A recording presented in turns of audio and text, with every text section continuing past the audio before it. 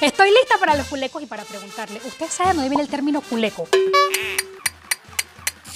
La tradición oral habla de varias hipótesis. Uno que es el sinónimo de una persona muy contenta, muy orgulloso. Por eso es cuando una mujer es abuela se dice la abuela está culeca.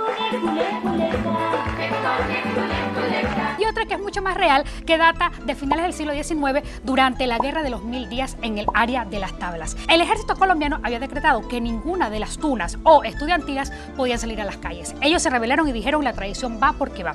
Para eso compusieron una tonada. La cantalante cantaba una copla y todo el coro respondía el culeco. Esto como una crítica social. El término fue evolucionando y para eso se adaptó más adelante a lo que son hoy las mojaderas. El culeco. ¿Lo sabía o no lo sabía? Otro tipitip por Elena Yorach para que usted se contagie de panameñidad. Los.